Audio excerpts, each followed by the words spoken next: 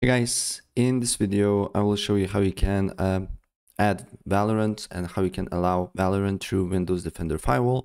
So without further ado, let's get started. Um, first of all, what you need to do here, you just need to go to Windows Defender Firewall.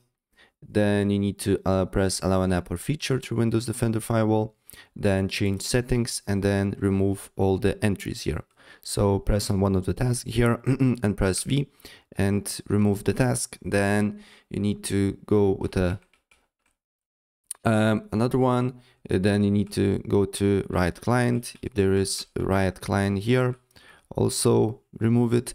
And the last one is uh, uh, VGC or Vanguard.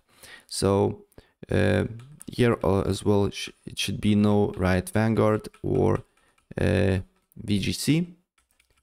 And then what you need to do here is to add them uh, to your Windows Defender firewall.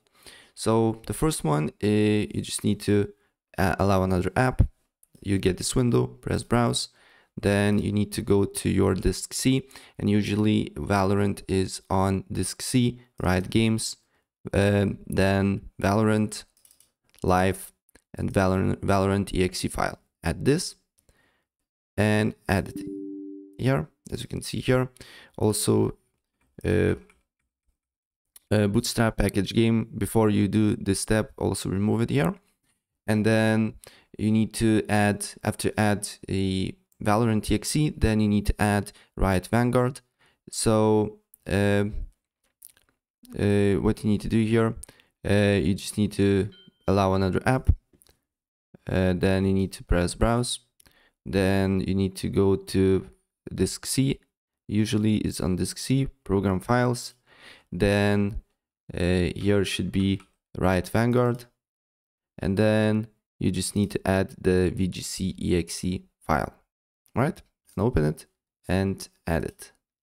And then uh, once more uh, another one is also allow uh, another app here uh, then press browse then disk C uh, then Riot Games, then you need to look for Riot Client, and then you need to add Riot Client Services open and add it here, right?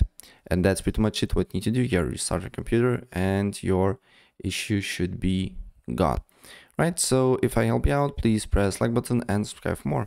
Take care. Bye.